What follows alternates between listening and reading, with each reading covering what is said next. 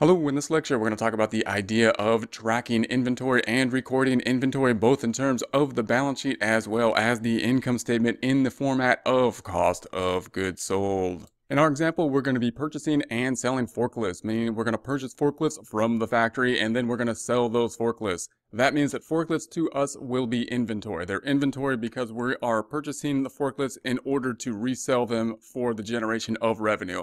That's really going to be the definition of inventory, the purchasing of something for the resale of it, as opposed to if we were someone else purchasing the forklift in order to help us generate revenue in another way through the use of the forklift, in which case it would then be property, plant, and equipment. So it's the intended use of the forklift which will determine whether or not it will be an asset in the form of inventory or an asset in the form uh, format of property, plant, and equipment. The first question we have here is how are we going to record this forklift on the balance sheet? How are we going to put it on the balance sheet? Will we put it on the balance sheet as one forklift? And obviously we can't do that. We're not going to put it on the balance sheet as one forklift. It seems obvious, but we have to put it on the balance sheet in terms of dollars. In this case, we're going to say we purchased the forklift for $15,000. Therefore, we're going to put it on the books at $15,000.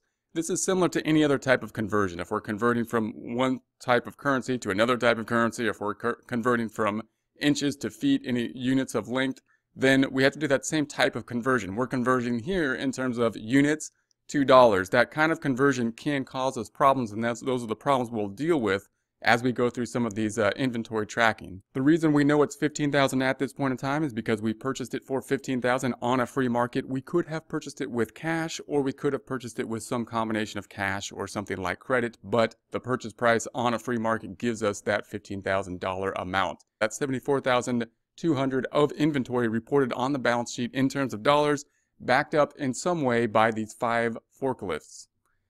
Now, the problem happens when we actually sell the forklift. Let's say we're going to sell this one particular forklift to the customer. We know what the sales price can be because we're going to come up with the sales price, and that's not a problem.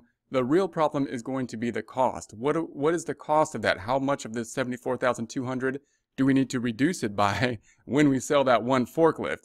And we might say, well, why don't we just take the five forklifts and say it's the total was 74,200 and divide it by five and say that one forklift is worth 14,840. That is one way we can do it. That's a form of, of averaging the method, but we might do it a different way in this particular case. We might take this 74,200, assign identification numbers and say this is ID number one, ID number two, and so forth. That will allow us then to assign specific dollar amounts, meaning that number one costs us 15,000, number two costs us 14,006, number three costs us 14,400, meaning we're going to specifically identify, specifically track this information and track it by the actual cost of that individual item. That's going to be called specific identification. If we do that method, then we could say, okay, that particular forklift, number one, the one we sold, that one cost 15,000. If we go to the journal entries, it's important to note that there's a distinction between the cost and the sales price. The sales price might be based on the cost, and so, for example, we might have the cost and have some particular markup, like a 30% markup, and that might be how we come up with the sales price. But note that the sales price is different than what we're typically doing in tracking the costs. And when we move to cost tracking, that often gets lost. So let's just say that we're going to record the sale first. The sale is the 16,000. Has nothing to do with the inventory cost in this particular problem. We're going to give that here. We're going to say 16,000 accounts receivable. We sold it on account and sales go up by 16,000. Where our tracking comes into play is when we're going to say, okay, how much does inventory go down by? It goes down by that 15,000 that we sold, and the related cost of goods sold will be going up, bringing net income down. So we're going to say that inventory then is going to be reduced by that particular item for $15,000 worth of forkliftness, and the expense of cost of goods sold is going to go up by that 15,000, bringing net income down.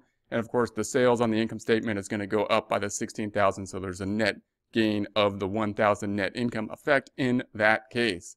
So now we're saying that that 74,200 is now going to be backed up by our subsidiary ledger, backed up by ID number, backed up by specific identification, adding up the 14.6, the 14.4, the 14.2, the 16,000, giving us the 59,200 in inventory after that sales point. That 59,200 then is, of course, what will now be on the balance sheet. Now, what we've used here is specific identification. The reason we would do that is because the forklifts are fairly large. Uh, we probably don't have a lot of them in comparison to other types of inventory, and they could be different in nature. They may not be exactly the same. They might have different colors and different features. If we were selling something that was completely the same, and we had a whole lot of them, things like coffee mugs or something, specifically identifying all the coffee mugs like this might be not worth our time. Therefore, we might not want to track exactly which coffee mug we then sell.